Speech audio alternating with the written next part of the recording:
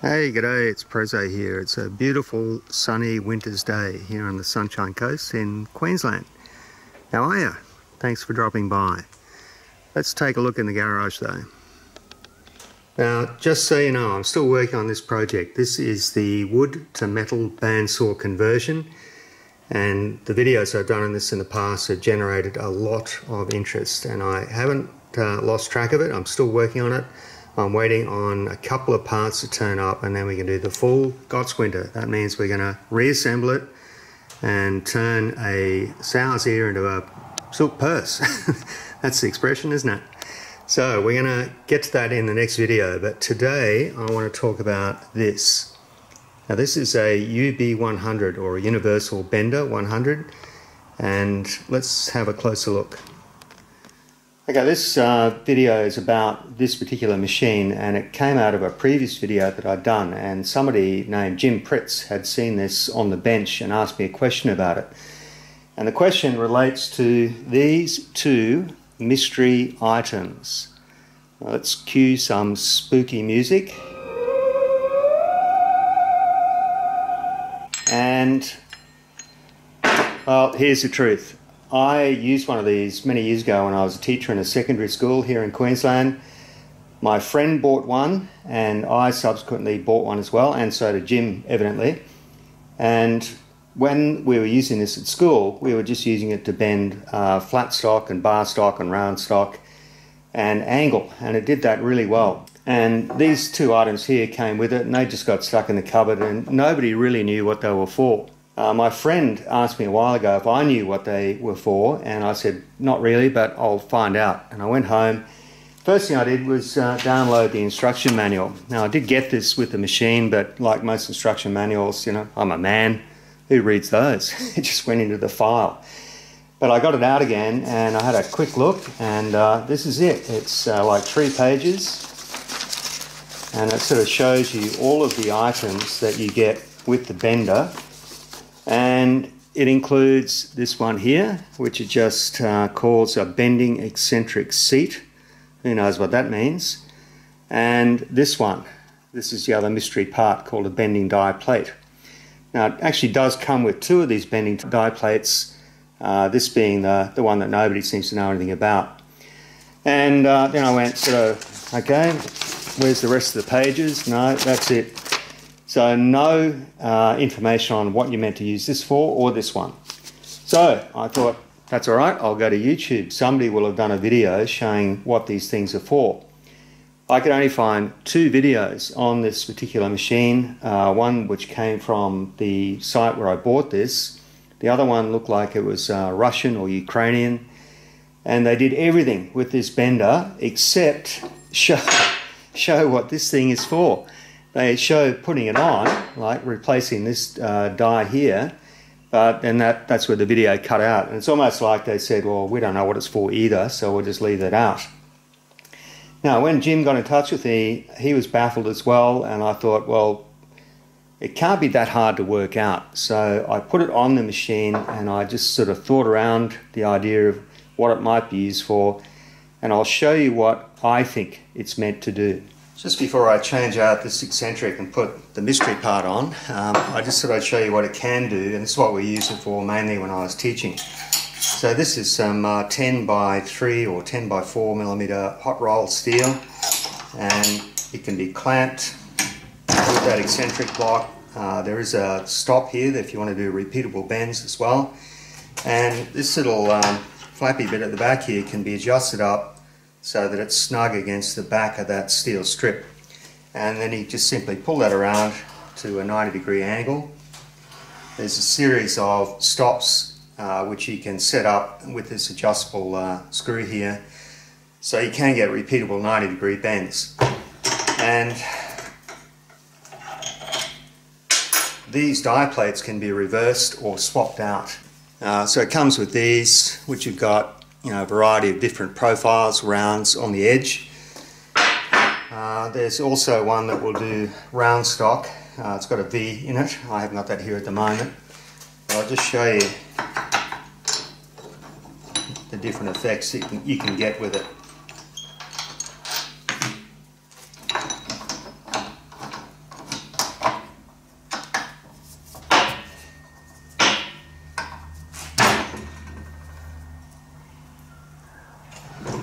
Alright.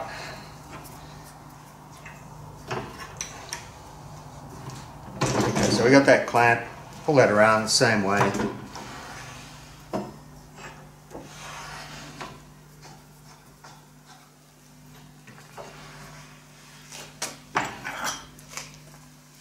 Okay, so you can get 90 degree bends with the, the big radius on the corner like that. Now, this will also bend, you know, round stock. It'll take material up to around about 16 millimeters if you're really strong. And that's bending cold. Uh, if you want to heat this up, you can get even thicker sections in there.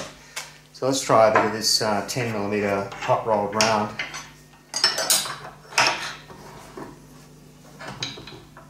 And that's just gripping it there.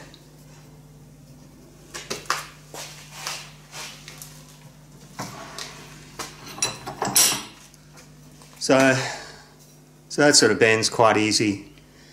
So for a, you know, a bench mounted machine, I find this thing's really handy uh, for cold bending. And I don't have oxyacetylene equipment that allows me to get stuff really hot for, uh, for bending over uh, mandrels and that sort of thing. So for cold bending, this is great. Anyway, let's have a look at this, uh, this mystery part. So the way this works, take that die block off, you put the mystery block on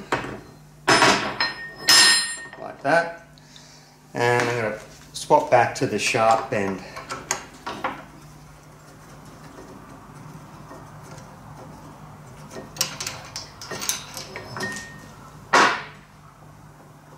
Okay what do I do with that? There it is.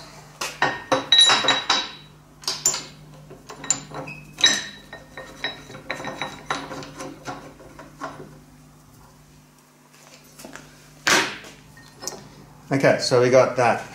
So what we can do now is we'll just make a 90 degree bend like we did before. Works exactly the same way.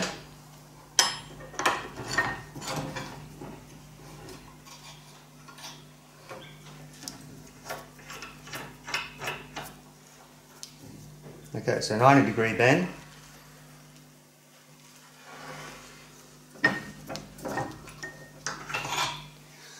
So I got that. Now you can bend a Z or what I used to call a joggle. So a joggle is like a 90 degree bend to the right and then another 90 degree bend going the opposite way back to the left. And the way you do that is you put it into this slot. Now I'll bring the camera around so you can see better. Okay, I'm going to try and do this by hand so you get a better look. So what we do is put the stock down inside, but this time I'll bring it over a little bit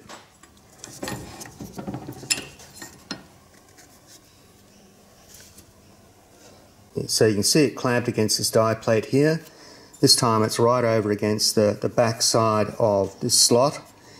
And I've got this plate here sort of nipped up so it's tight against the front of the stock. Okay, and we just bring that around.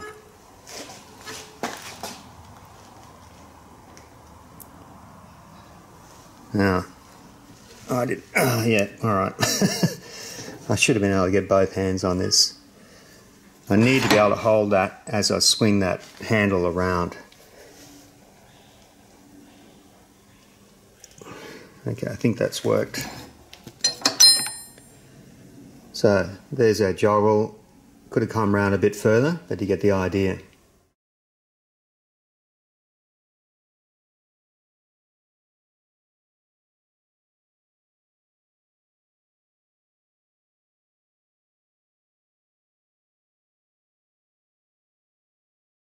All right, well that sort of brings us to the, the next mystery part, which is this one.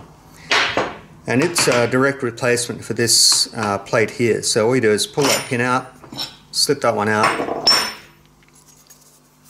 and put that one back in there as a replacement.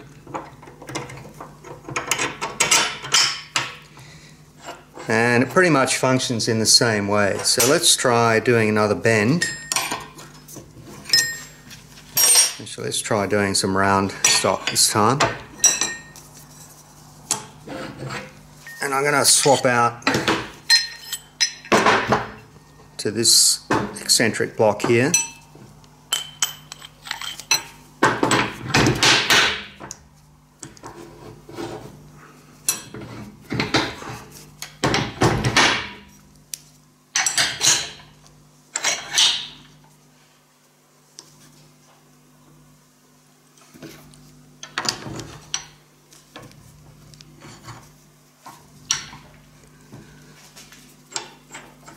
Okay, so I got a bit of round stock in there now. Let's do a 90 degree bend with that one.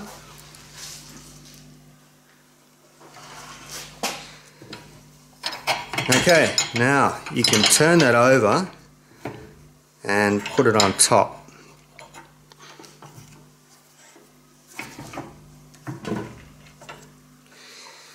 And that sort of fits uh, behind this vertical projection here. And you can just re repeat that process, bend it again at 90 degrees. Let me just bring that up a little bit. Okay, come round.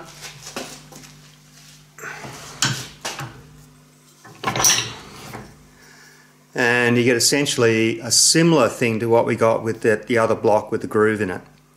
Now there's a limit to how thick your material, how vertically thick your material can be when you use this block here. But for that 10 millimeter bar and probably up to about 12 millimeter, it would work perfectly. So that's what I think that those two mystery parts are used for. If anybody knows differently, I'd love to hear about it in the comments. I'm sure lots of other people would too, because trust me, the uh, the instructions you get with this thing are pretty scarce. There's not a lot of information in there, and certainly there's not much online. But yeah, that's that's my best guess.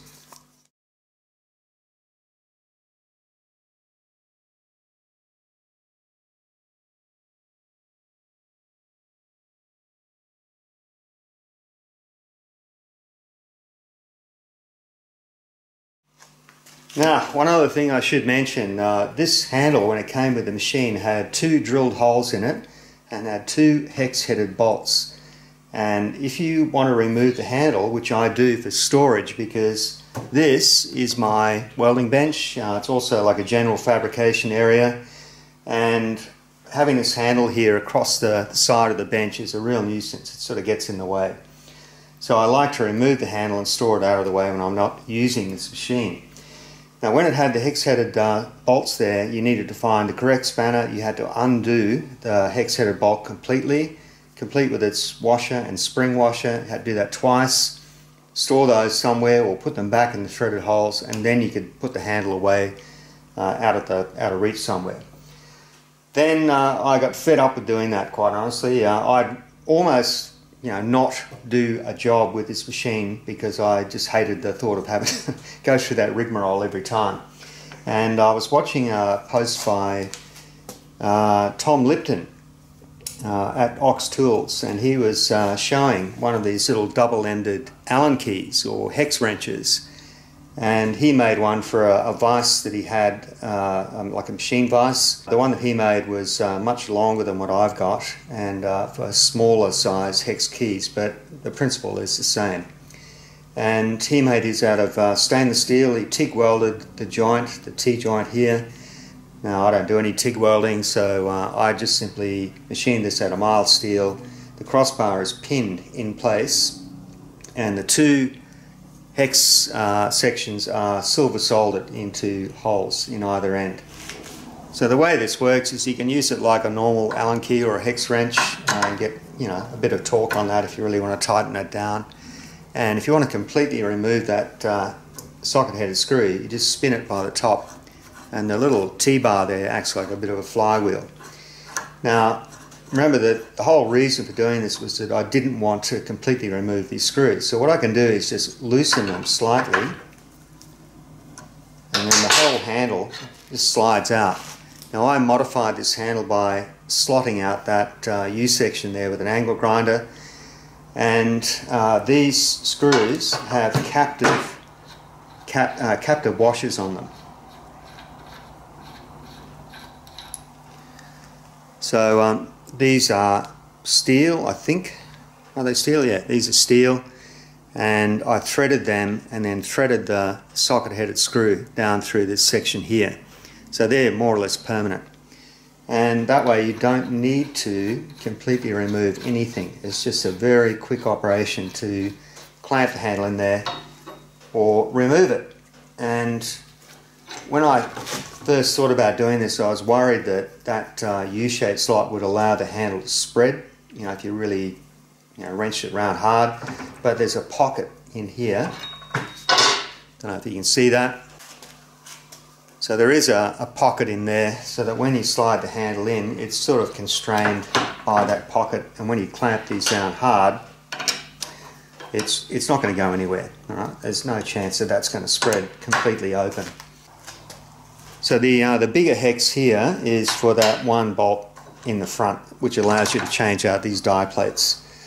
So the whole thing has been powder coated in yellow. That's just simply so I don't lose it amongst all the junk on my bench. And uh, it does a pretty good job. So that's it. That's the UB100. I'm not sure. I think the 100, the UB stands for Universal Bender. And I think the 100 refers to the height of that block there. I think it's 100 millimeters high. So that's it. That's the UB100. That's the, the mystery part, which I'm hoping I've described accurately. I think I've sort of explained what that is for. Still not really sure what this is for. Um, once again, if anybody knows, I'd be glad to hear about it.